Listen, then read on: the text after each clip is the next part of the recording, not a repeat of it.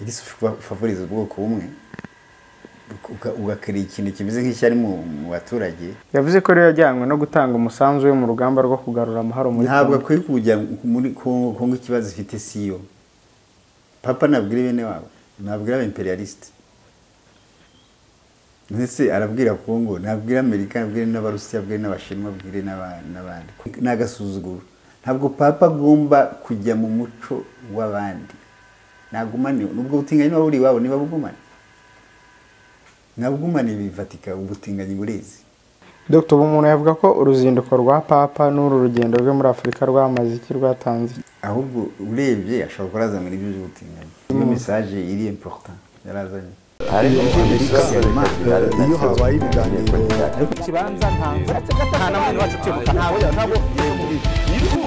murabibona murabizi mugaceceka. Uruhare rw'itangazamakuru mu iterambere ry'igihugu. Ntabwo akenshi itegeko rivuga ngo kapitani ibrahim traore ukuriye agatsiko ka gisirikare. Turabasuhuje abadukurikiye reka twizere ko mumeze neza abari eh, mu bice bitandukanye by'igihugu by'umwihariko mu majyepfo amajyaruguru iburasirazuba iburengerazuba n'abari mu mujyi wa kigali ariko dusuhuze namwe mudukurikiye muri hakurya y'imbibi z'u rwanda mwumva kandi mukoresha ururimi rw'ikinyarwanda. Turi kumwe na dr. Rusa bagirishya tugiye kugaruka ku ruzinduko rw'umushumba wa kiliziya gatolika ku isi papa francis. Ni uruzinduko aherutsemo muri afurika cyane muri repubulika ya demokarasi ya kongo no muri sudani y'epfo aho ah, yakiriwe akagenda atanga imbwirwaruhame zitandukanye ari zo tugiye no kugarukaho muri iki kiganiro. Dr muri amahoro bisaba. Uruzinduko rwa papa muri afurika warwakiriye biragoye kugira ngo mubwire ngo narwakiriye gute kuko uko abantu babona papa, ntitumubona tu- twese icyo kintu. Biva kuba ayobora nk'abakatolika ayobora papa ni- ni- ni- namwi- namwitamo iki?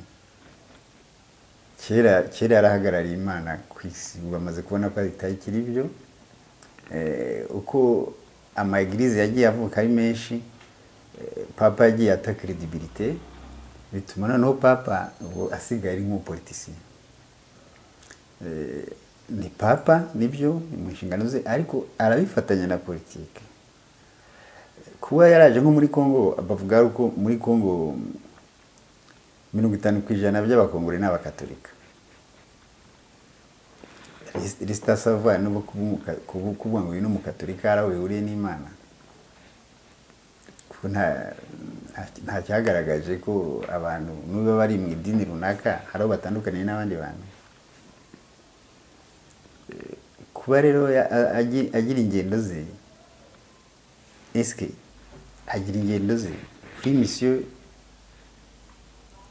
y'idini kuri misiyo y'imana kuri misiyo ya politike ni- ni cyo umuntu yibaza biragoye biragoye ku biri kompurike kugira ngo bisobanure neza. Eh, gusa ku bya politike byo byaragaragaye byinshi ku bapapa benshi. Cyane cyane kuri afurika muribuka mwese bikina nuze na esclavage mugitangira muribuka mwese traité de Tordesillas ko ari ukugabana isi eh, ni papa papa Alexandre Sisi. Nonese bazi ngo bagabana isi bagabana abakristo. Ko bagabana isi bagabana umutungo wayo. Ari Portugal na Espagne bigabana icyo gihe. De Tordesillas mwese murayizi mu gihumbi kimwe magana ane mirongo icyenda na kane baga nuko bafashe nuko Portugal yafashe Brazil nuko Espagne na yo yari ifite hanini Espagne yabaye puissance ya mbere ku isi yari ifite hanini cyane bahitaga ngo ni, ni empire izuba ritarenga hamwe habaga ari ku manywa n'ari nijoro buri gihe ntabwo rero icyo gihe wavuga ngo bagabanaga abakristo abakristo bahuriye n'ubutaka gusa byaragaragaye nyine aho nabwo ntibabusize inyuma kuko n'uyu munsi muri amerika yo hepfo brezil ifite abaka- abakatolika benshi cyane. Rero papa urugendo rwe ruba rurimo byinshi. Mwakurikiye amadisikuru yasomaga uraza kumbwira wum- twumve eh, kuvuga ngo mwumve imana ibyo ni ibisanzwe niko bose bavuga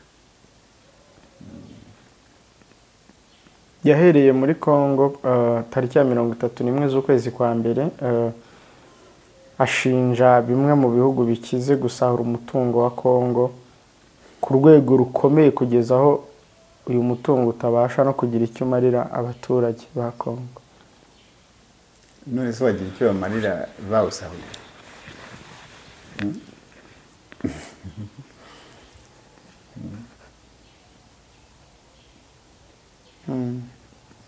None se mercantilisme mwiruka mwese kure ya mercantilisme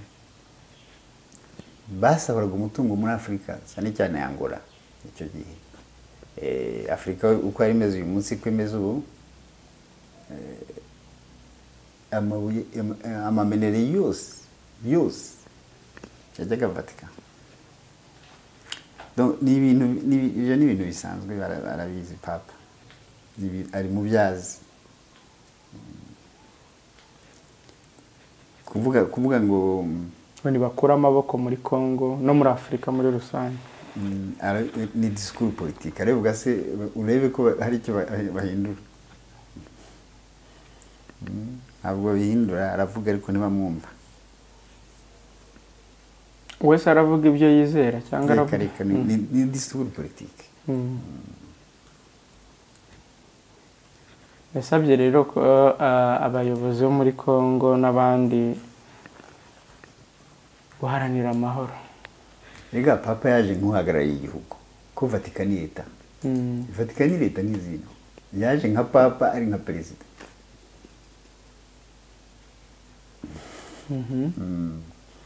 Ni uko yitwa papa ariko yaje nka perezida yaje ahagarariye igihugu vatikani leta naho ari gatoya ni leta ariko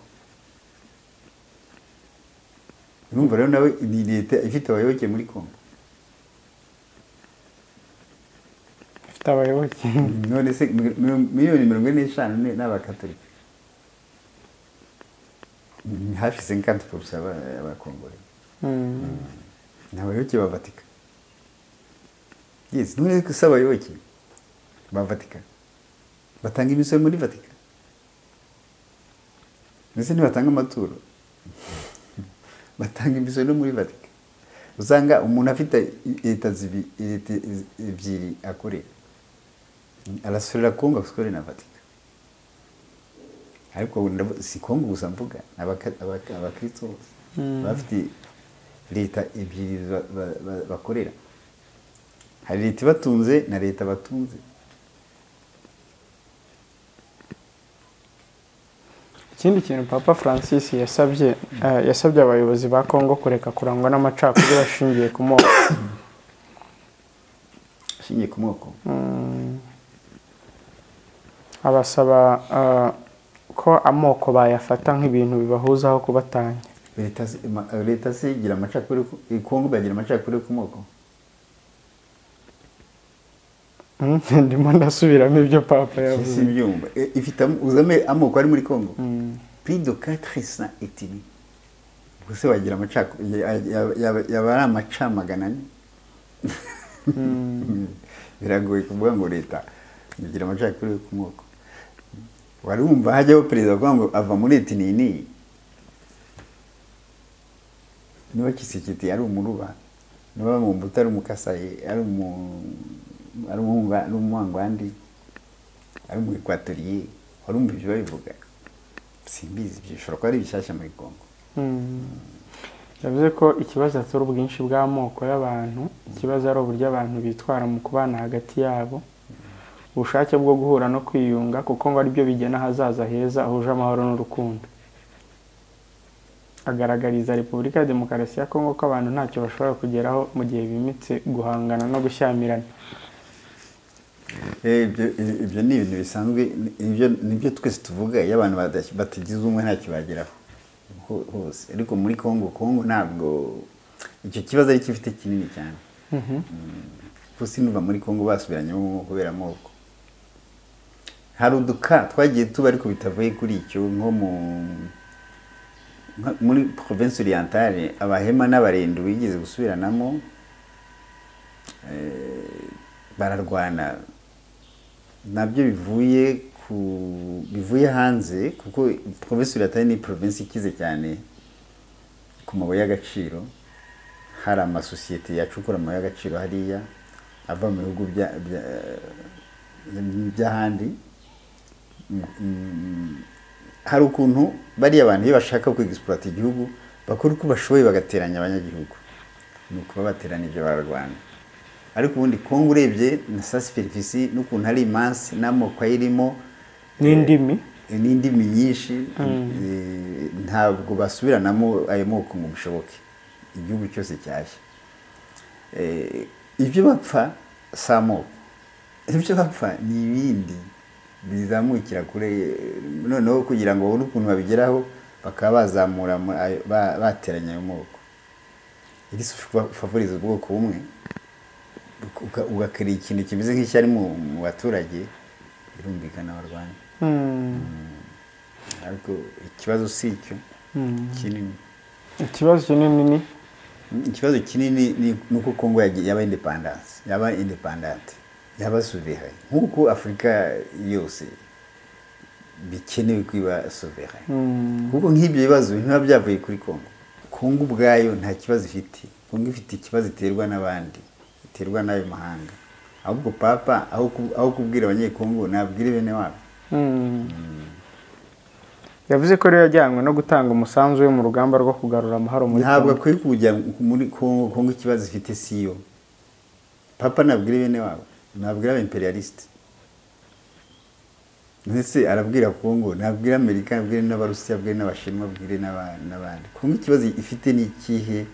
Abo bantu bataraza kongo nta kibazo yigeze igira. Nta intambara kongo izi itatewe nabo. Mm. tariki ya kabiri z'ukwezi kwa kabiri eh, muri uyu mwaka rero ni bwo yasoje urugendo rwe arusoreza muri eh, sudani y'epfo ari kumwe n'abayoboye itorero angirikani mu bwongereza no muri scotland. Yamaganye amategeko ahana ubutinganyi.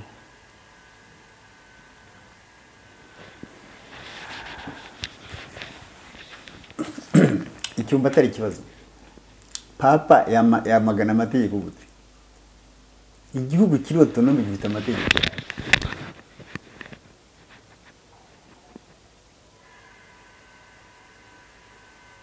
kandi ubutinganyi ntabwo buri muri penali pe birashoboka ariko ni izaje gutinya ni mu muco ntabwo papa agomba ibyo ni bya bindi nakubwiye ni agasuzuguro ntabwo papa agomba kujya mu muco w'abandi.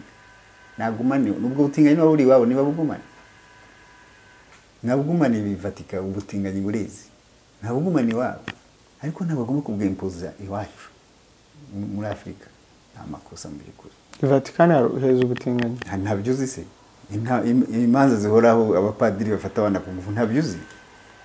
Ibyo si jye bivuze ubwa mbere murabizi mwese. Ubutinganyi muri vatikani ntabwo azi ko icyo kibazo vatika ifite. None se ko baha- babahana?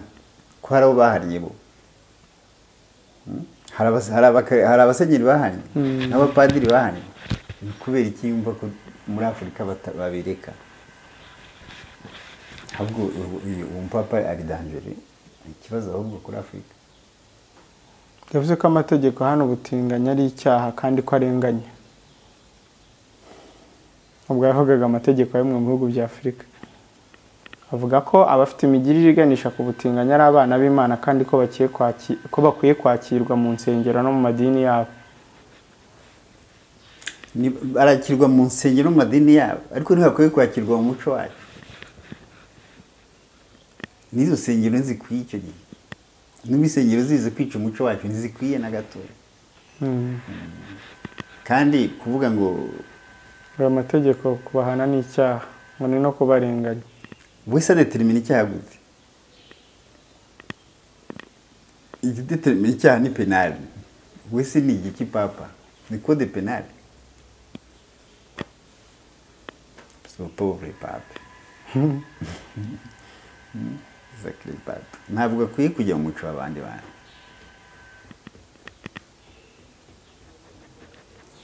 Ubwo rero abo nabo bayobora anglikani muri eh, bwongereza na scotland. Bashima cyane ko eh, ibyo papa avuga rwose. Ari turemeranya n'amagambo yose yavuze. Urumva abangirika bo batangiye no kubashyingiraho amasengero? Eh, kandi babanje kubarwanya igirize katolika yabanje kubarwanya none bumva bashyize hamwe. Ntabwo mbyanze ibyo bintu byabo. Ariko nibiguma iwabo. Ntabwo bagomba kutwempoza uko ni ka gasuzuguro ntabwo bagomba kutwempoza ko dufata kiritire yabo sinzi nuko utasomye afurika victime. Ibyo birimo muri muri shade doni perezi maratikiri ivuga ko afurika itagomba kugira kiritire itagomba kugira civilisation igomba kwirefera kuri kiritire occidentale na civilisation occidentale. Nibyo niba dushaka kuba twebwe dushaka kuba abanyafurika nitube abanyafurika ibyo uku- ibyo uku- ibyo ukurura ahandi nta kamaro bizakugira n'umunsi n'umwe. Dr umuntu yavuga ko uruzinduko rwa papa n'uru rugendo rwe muri afurika rwamaze iki rwatanze iki? Byari kuba byiza ubwo rutabayeho. Gusa ibyo bintu avuga wumva bimariye icyo afurika mbabarira nawe umbwire icyo rumariye afurika ni iki?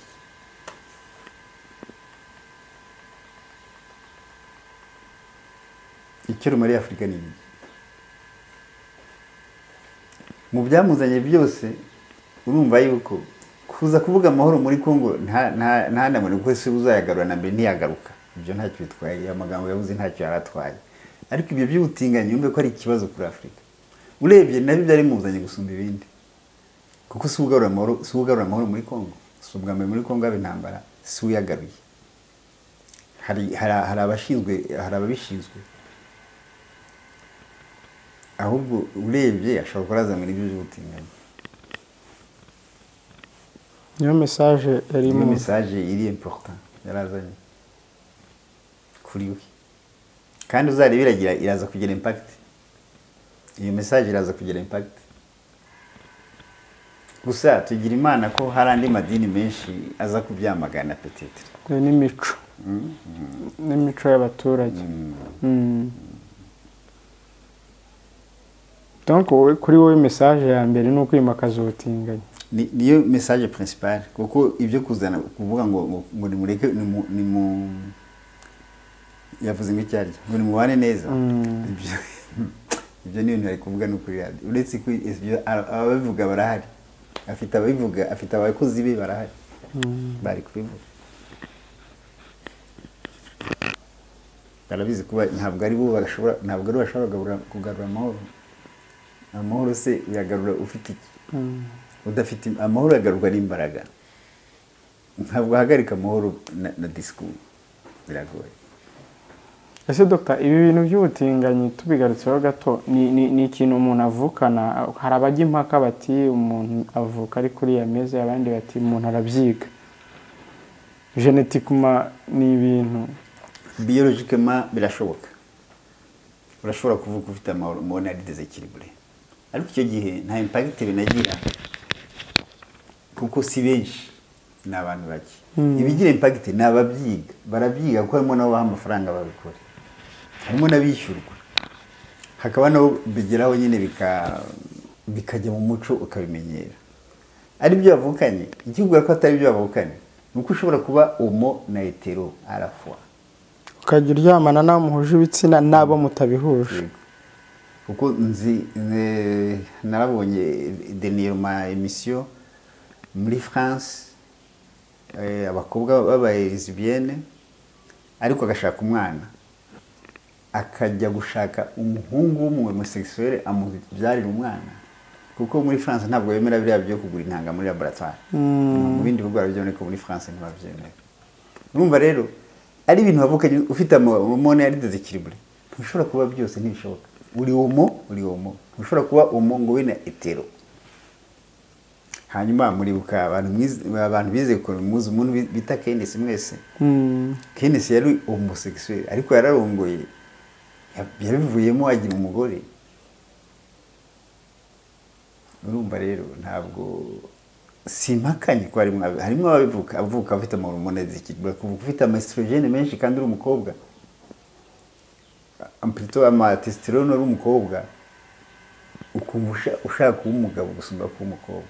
Cyane kuvuka ufite amaestrogene menshi ni ama- ni amahormone y'abagore.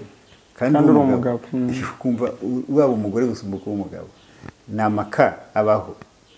Si menshi kandi bene abo ntiba- ntiba- ntibagorana cyane ntibabi- ntibabishyiramo n'imbaraga nyinshi.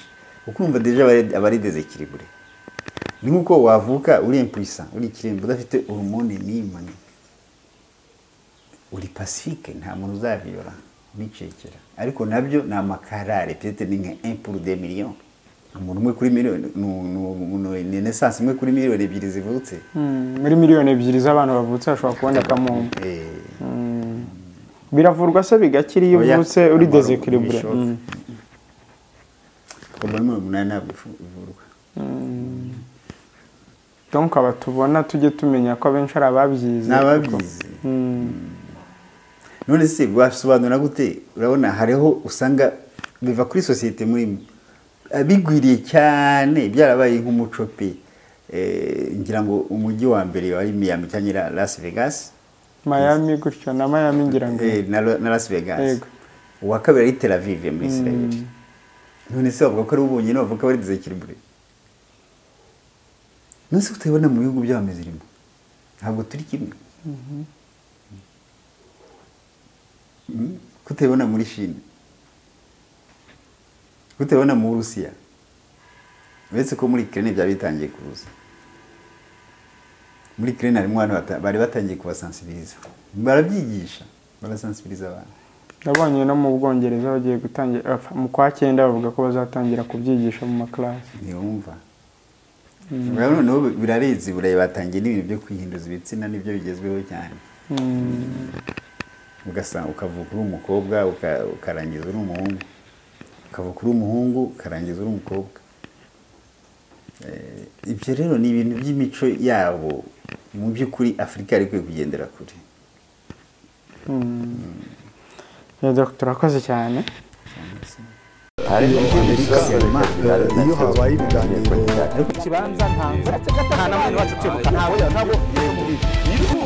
murabibona murabizi mugaceceka. Uruhare rw'itangazamakuru mu iterambere ry'igihugu. Ntabwo akenshi itegeko rivuga ngo kapitani ibrahim traore ukuriye agatsiko ka gisirikare.